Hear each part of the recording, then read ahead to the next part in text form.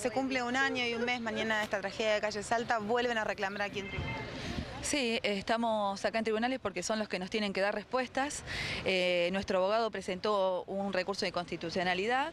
Eh, la semana pasada el camarista Liaudet eh, nos rechazó el pedido de inconstitucionalidad, por lo cual no entendemos, porque nosotros lo único que pedíamos era seguir investigando, que se reabra la investigación porque creemos que hay más responsables.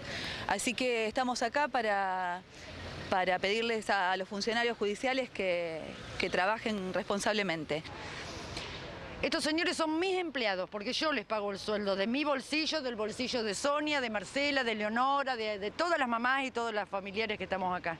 Entonces a mí me van a atender como corresponde. Este señor a mí no me va a atender en un pasillo para hablar nada menos que de la causa de nuestros hijos y nuestros familiares.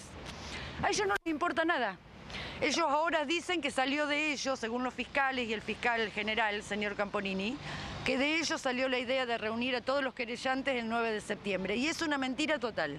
Nos sentimos muy solos y necesitamos que nos ayuden, que nos acompañen. Bueno, y que se haga justicia en definitiva. ¿A la justicia le molesta estas marchas, que ustedes vengan e insisten? Según la gente que trabaja aquí hace más de 25 años, nos aconseja que sí que ellos, eh, ellos generalmente eh, actúan y trabajan cuando hay gente que moviliza. Entonces, bueno, si, si, esa es la forma, nosotros no vamos a caminar más por las calles eh, de Rosario para que la gente nos apoye, porque la gente nos apoya y el rosarino está con nosotros. Nosotros vamos a caminar por los pasillos de tribunales, que esperamos que hoy nos dejen entrar como cualquier ciudadano y que no se nos discrimine también para esto, para entrar al palacio que debe impartir la justicia.